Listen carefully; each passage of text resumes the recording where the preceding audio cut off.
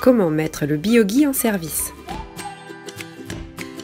Pour la première mise en service, placez-vous en extérieur et appuyez sur le bouton orange on-off pendant 3 secondes jusqu'à ce que le boîtier vibre, puis relâchez le bouton.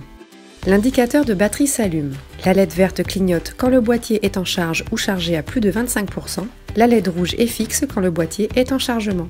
L'indicateur de GPS s'allume en vert lorsque le boîtier a réussi à se connecter au satellite. Il faut être en extérieur et lors de la première localisation, cela peut prendre du temps.